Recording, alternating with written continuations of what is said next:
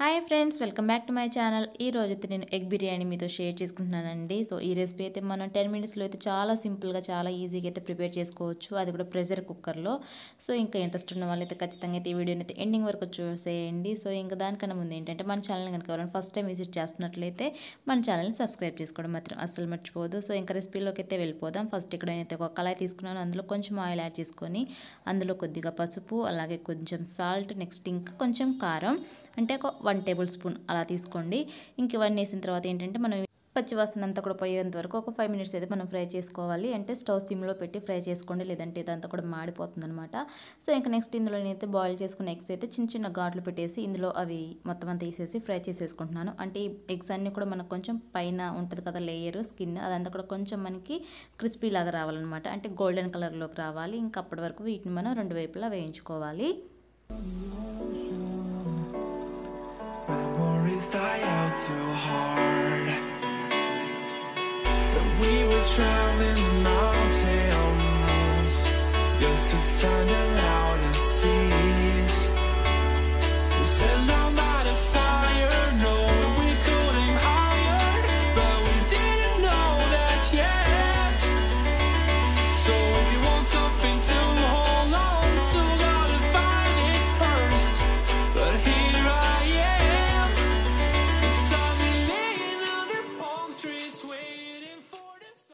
so ఎగ్స్ని అయితే ఇలా మనం గోల్డెన్ కలర్ వచ్చేంత వరకు అయితే రెండు వైపులా వేయించుకోవాలండి. ఒక ఫైవ్ మినిట్స్ వరకు అయితే మనం స్టవ్ అనేది సిమ్లో పెట్టేసుకొని వేయించుకోవాలి. ఇంకా నెక్స్ట్ ఏంటంటే నేను అదే ప్యాన్లో ఇంకొంచెం ఆయిల్ అనేది యాడ్ చేసుకొని ఇందులో నేను కొంచెం సన్నగా కట్ చేసుకున్న ఉల్లిపాయలు అనేవి నేను కొంచెం ఫ్రై చేసేసుకుంటున్నాను. ఇవి కొంచెం మనకి బాగా వేగాలన్నమాట. ఇంకా అప్పటి వరకు అయితే కొంచెం ఉప్పు చల్లేసుకొని నేనైతే వీటిని కూడా వేయించేసుకుంటున్నాను.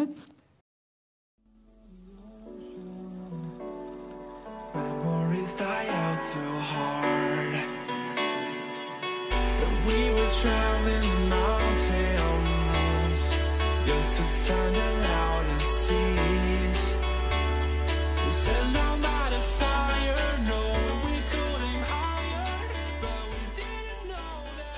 So ఇంక ఈ ఉల్లిపాయలను కూడా మనకి గోల్డెన్ బ్రౌన్ కలర్ వచ్చేంత వరకు మనం బాగా వేయించుకోవాలండి వీటిని.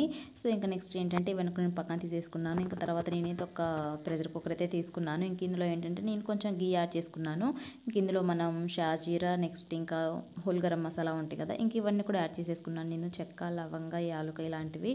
ఇంకా తర్వాత నేను ఇందులో కొన్ని జీడిపప్పులు కూడా యాడ్ చేశాను అనమాట ఇంకా నెక్స్ట్ ఇందులో బిర్యానీ ఆకు కూడా యాడ్ చేశాను ఉల్లిపాయలు కూడా యాడ్ చేశాను. ఇంక ఇవన్నీ కూడా మనం బాగా ఫ్రై చేసుకోవాలి.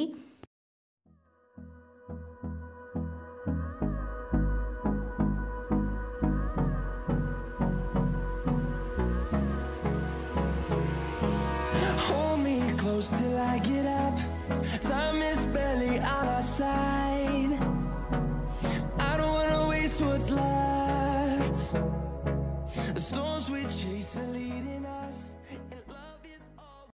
so ఇంక ఇప్పుడు ఈ ఉల్లిపాయలన్నీ కూడా మనకి మగ్గిపోయినాయి కదా. ఇంక ఇప్పుడు ఇందులో నేనైతే క్యారెట్ ముక్కలు అలాగే టమాటో అలాగే ఒక నాలుగైతే పచ్చిమిర్చి వేసుకున్నానండి నేను కట్ చేసుకొని. ఇంకా తర్వాత ఇందులో అల్లం వెల్లుల్లి పేస్ట్ కూడా రెండు టేబుల్ స్పూన్స్ అయితే యాడ్ చేసుకున్నాను. ఇప్పుడు ఇవన్నీ కూడా మనం ఫ్రై చేసుకోవాలి. అంటే అల్లం వెల్లుల్లి పేస్ట్ మనకు కొంచెం పచ్చివాసన పోవాలి. అట్ ద సేమ్ టైం ఇవి మనకు కొంచెం ఫ్రై అవ్వాలన్నమాట. ఇంకా అప్పటి వరకు అయితే నేను వీటిని బాగా వేయించేసుకున్నాను. మీ దగ్గర ఉంటే ఇందులో బంగాళాదుంపలు కూడా కట్ చేసి వేసుకోవచ్చు కొంచెం పెద్ద ముక్కల్లా కట్ చేసుకొని టేస్ట్ బాగుంటుంది. అలాగే గ్రీన్ పీ కానీ లేదంటే మీల్ మేకర్ ఉంటుంది కదా ఇంకా అవన్నీ కూడా మీరు యాడ్ చేసుకోవచ్చు. సో ఇంకా అదండి. అవన్నీ ప్రస్తుతం నా దగ్గర లేవు అని చెప్పేసి నేను సింపుల్గా అయితే చేసేసుకున్నాను ఇది.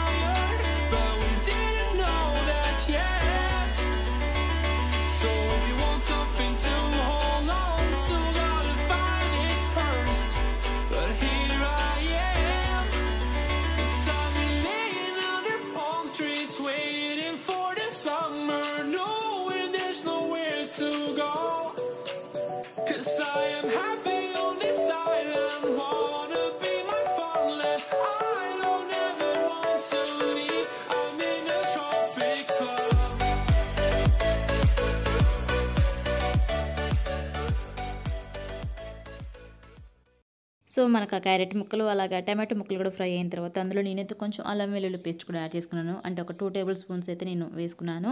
ఇంకా అదంతా కూడా మనకు కొంచెం పచ్చివాసన పోయిన తర్వాత అందులో నేను కొంచెం పసుపు అలాగే మన స్పైస్కి తగినంత కారం అలాగే మనకు టేస్ట్కి తగినంత సాల్ట్ కూడా వేసుకున్నానండి. ఇంకా దావి కూడా కొంచెం మనకు ఫ్రై అయిన తర్వాత నేను అందులో ఒక టూ టేబుల్ స్పూన్స్ అయితే పెరుగు కూడా యాడ్ చేశాను. మీ దగ్గర ఉంటే మీరు పచ్చి అవి ఉంటుంది కదా కొబ్బరి పాలు ఇంకా అవి యాడ్ చేసుకోవచ్చు పెరుగు ప్లేస్లో. ఇంకా సో ఇంకా అవి లేదని చెప్పేసి అయితే పెరుగు అయితే యాడ్ చేసుకున్నాను. సో ఇలా మనకి ఆయిల్ అంతా కూడా పెరిగేసుకున్న తర్వాత కొంచెం మనకు ఆయిల్ అనేది పైకి రావాలి అప్పటి వరకు మనం ఫ్రై చేసుకోవాలి.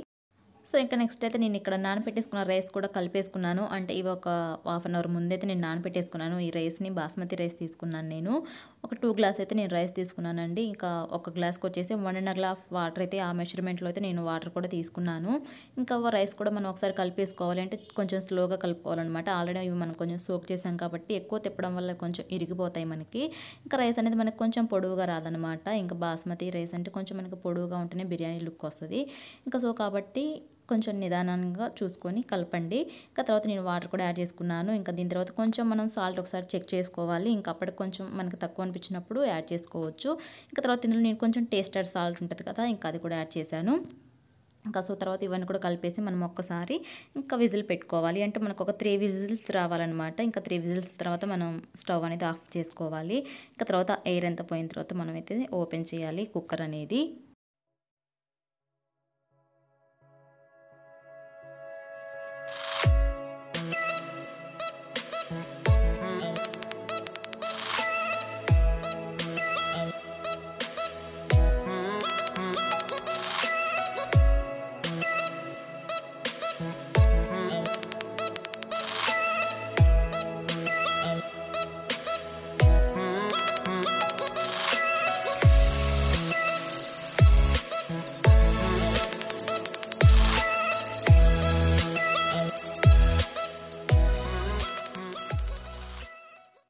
సో ఇంకా త్రీ విజిల్స్ తర్వాత అయితే నేను ఓపెన్ చేసేసాను కుక్కర్ అనేది. ఇంకా సో దీని తర్వాత ఏంటంటే నేను ఫుడ్ కలర్ కూడా కొంచెం యాడ్ చేసుకున్నానండి. ఇదైతే మీ ఆప్షనల్ మీకు ఇంట్రెస్ట్ ఉంటే ఇది యాడ్ చేయొచ్చు లేదంటే స్కిప్ చేసేయచ్చు.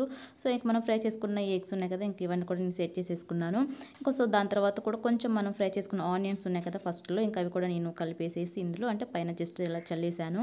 ఇంకా కొంచెం కొత్తిమీర పుదీనా కూడా చల్లేసాను. ఇంకా దాని తర్వాత మనం లిడ్ పెట్టేసుకొని ఇంకా విజిల్ పెట్టేసుకొని ఇంకేం కుక్ చేయని అవసరం లేదు. జస్ట్ అలా వదిలేస్తే కొంచెం ఆ హీట్కి ఇవన్నీ కూడా కొంచెం ఫ్లేవర్స్ అనేవి కొంచెం లోపల లోపలికి పట్టేస్తాయి అనమాట రైస్కి. ఇంకా సో అదండి గుర్తుపెట్టుకోండి కింద స్టవ్ అయితే మనం వెలిగించకూడదు. ఇంకా సో జస్ట్ ఆ స్ట్రీమ్ మీదనే అలా వదిలేసేయాలి. ఇంకా ఫైనల్గా మనకైతే బిర్యానీ అనేది కుక్ అయిపోయినట్టే.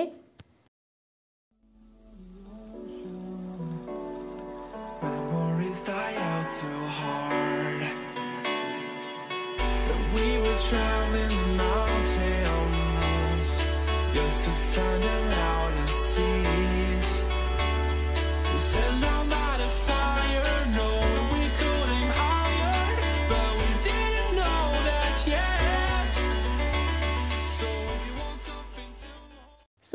so five minutes తర్వాత అయితే మనకి బిర్యానీ అనేది ఎమ్మి ఎమ్మిగా రెడీ అయిపోయింది. సో చూసారా రైస్ అయితే చాలా విడివిడిగా ఉందన్నమాట. అంటే మనం తీసుకునే రైస్ని వాటర్ని బట్టి ఉంటుంది. మనం ఒక గ్లాస్ రైస్ తీసుకుంటే వన్ అండ్ గ్లాస్ అయితే మనం వాటర్ తీసుకోవాలి. కొంతమంది ఏంటంటే టూ గ్లాస్ ఆఫ్ వాటర్ తీసుకుంటారు. అలా కాకుండా ఒక కొంచెం హాఫ్ గ్లాస్ తక్కువ తీసుకొని వన్ గ్లాస్ వాటర్ తీసుకుంటే రైస్ అనేది ఇలా మనకి విడివిడిగా వస్తుంది అనమాట సో ఓకే అండి. చూసారా చాలా అంటే చాలా ఎమ్మిగా ఉంది బిర్యానీ. ఖచ్చితంగా మీరు కూడా ట్రై చేయండి.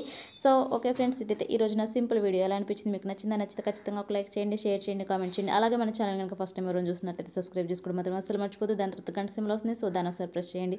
దానివల్ల ఏంటంటే నేను ఎప్పుడు వీడియోస్ అప్లోడ్ చేసినా కూడా మీరు మిస్ కూడా చూడొచ్చు అనమాట టేక్ కేర్ ఆల్ బాబాయ్